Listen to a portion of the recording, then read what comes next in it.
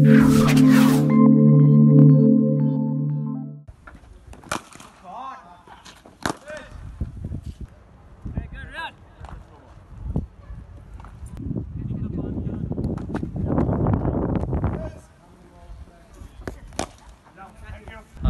বাইরে নয় বছর পরে